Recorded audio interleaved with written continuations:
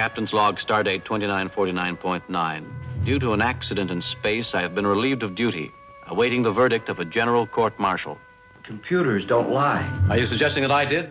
There's still time to change our plea. The man who killed my father. That's not so. He was my friend. You murderer! I'm thinking of the service.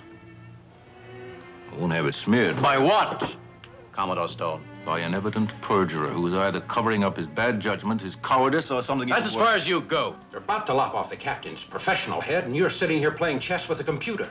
Mr. Spock, you're the most cold-blooded man I've ever known. Why, thank you, Doctor. You still haven't told me how you know so much about what the prosecution's going to do. Because, Jim Kirk, my dear old love, I am the prosecution.